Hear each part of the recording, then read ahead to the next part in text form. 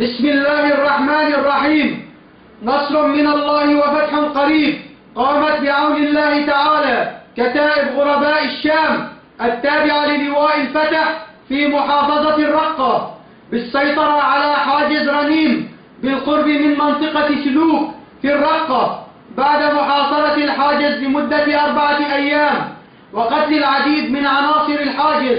ثم قام أبطال غرباء الشام باقتحام الحاجز وقتل سبع عناصر وأسر تسعة عناصر آخرين وتم السيطرة على دبابتين بعتادهم الكامل واغتنام الذخيرة. والحمد لله رب العالمين والنصر لثورتنا المباركة. تكبير!